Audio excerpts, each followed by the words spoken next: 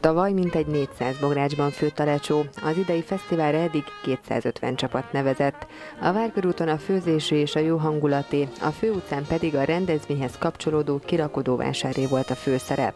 Nincs meg a hölgyeknek az a karizmája. Tóth László bár imádja a lecsót, a fesztiválra még nem nevezett eddig. A fesztiválra minden évben kilátogat, talán idén először főzni is fog. Mint mondja, ha lecsóról van szó, nem adja ki kezéből a fakanalat, mert úgy véli, a férfiak jobbat készítenek. A lecsó titka egyébként, ahogy fogalmaz, a cifraságokban rejlik. Füstölt oldalas a lecsóba, akkor nokedlival a lecsót.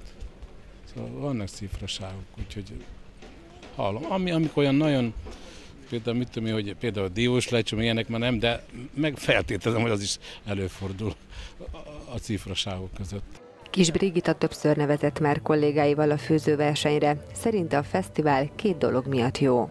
Élből a lecsó gasztronómiai élménye, meg a társaság hangulat.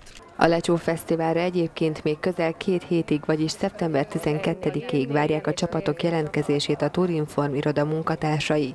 Magánszemélyek csak a főzési alapanyagot kell, hogy hozzák, valamint a 6000 forintos nevezési díjat kell befizetniük. Minden mást a szervezők biztosítanak. Minden csapat kapja ugye a kijelölt főzési területet, egy tűztálcát, tűzifát a főzéshez, egy kenyérjegyet, amely ellenében a helyszín reg, helyszínen reggel 3 kg kovászolt parasztkenyeret fog kapni, és egy sörpad garnitúrát, ahol maga a csapat, illetve a vendégeik le tudnak ülni, enni, inni.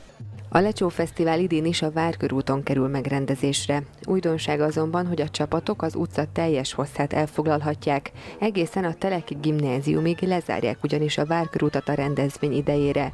A színpad pedig, ahol a zenés programok zajlanak majd, a Rákóczi út elején kap helyet.